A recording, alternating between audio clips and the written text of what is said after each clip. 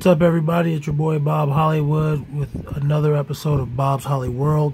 Today, we are going to be doing episode six, I believe, of Civvies, Soldiers, Spacemen, and Superheroes. And it's going to be a short episode, man. I only have for you 11 figures, 12 if you count duplicates.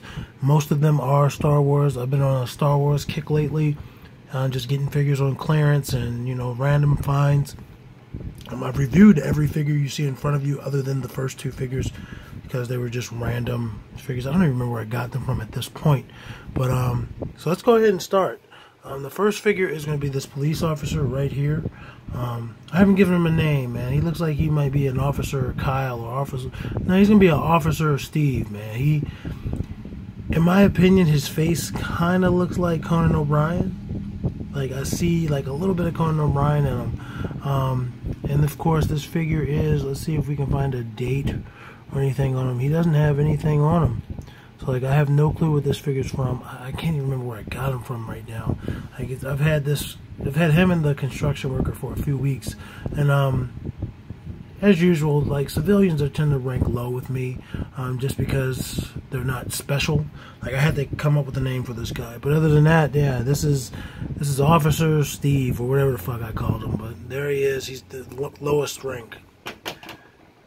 We got a construction dude here. Construction dude has really long ape arms. Let's see if we can figure out where he's from.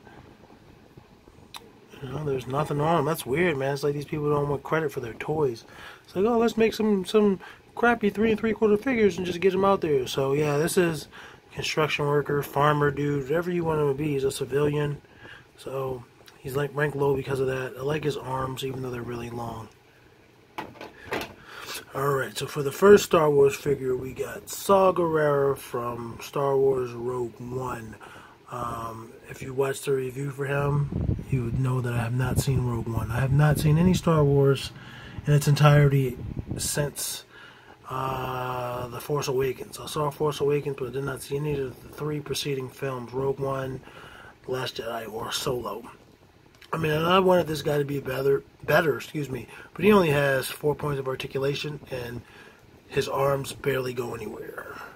So that's why he's ranked so low.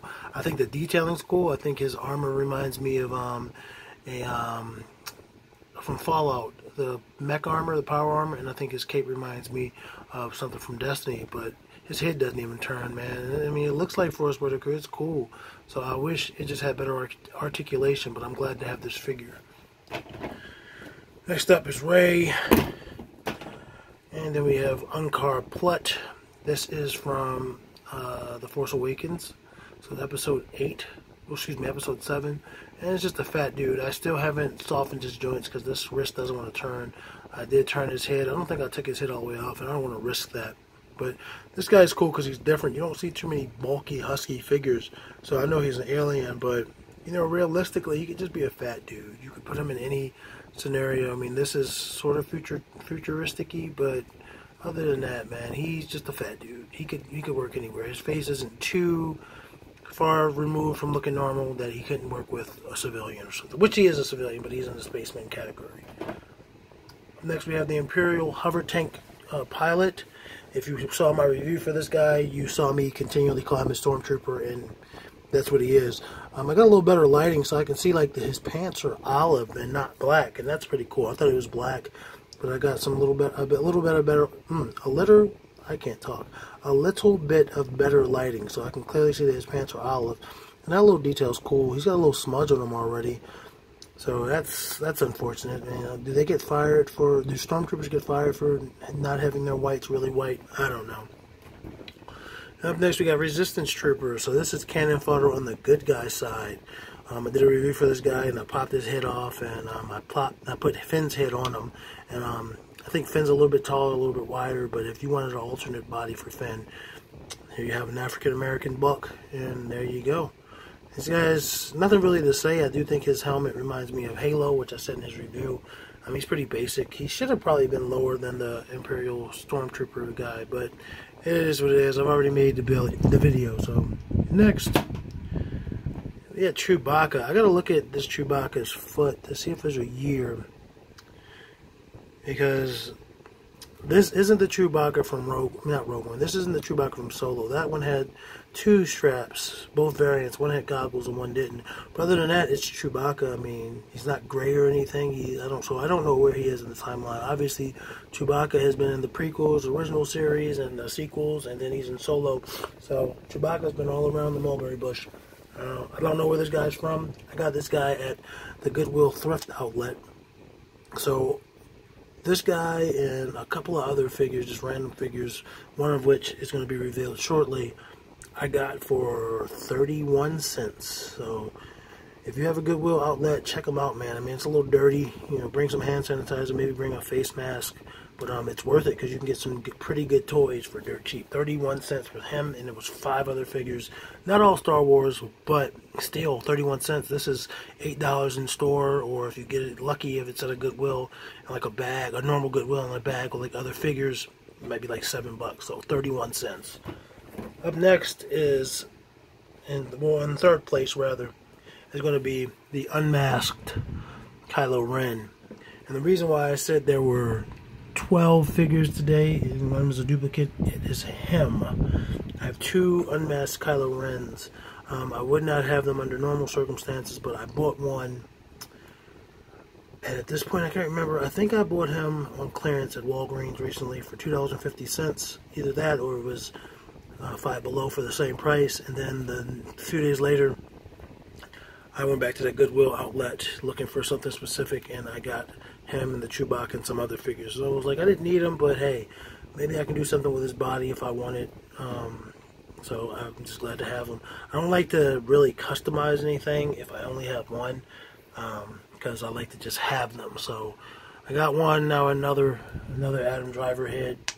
If I wanted to do something with the body or with the head, which is cool. But this guy's ranked number three because I like the sculpting. I mean, he doesn't really have good mobility, or not mobility, but like articulation.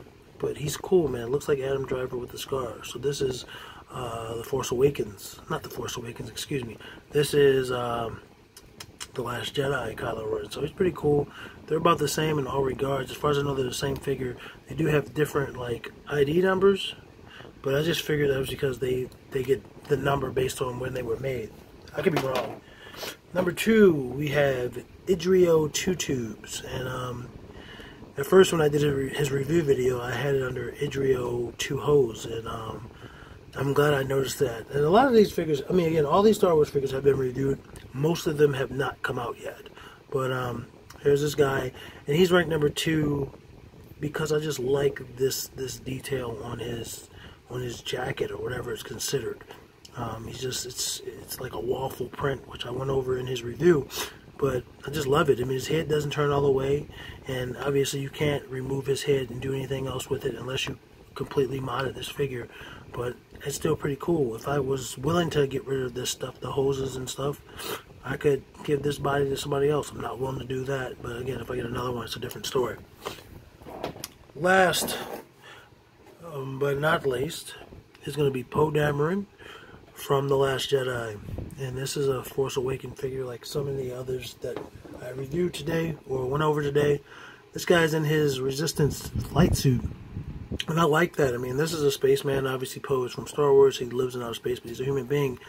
I may end up using this guy for like a video like with with soldiers. I mean, he could just be a pilot. You know, he came with his helmet.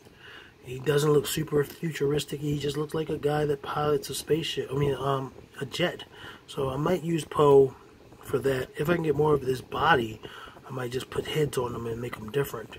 Um, yeah, Poe can be cannon fodder. He can be um, a clone. Bring back the clones all these years later. Anyway, guys, that's it. It was just 12 figures today, relatively short. I managed to keep this under 10 minutes. So, like, comment, subscribe, share with all your homies. Let them know about me. Let them know where they can find BOB. I appreciate it. You guys enjoy the rest of your day.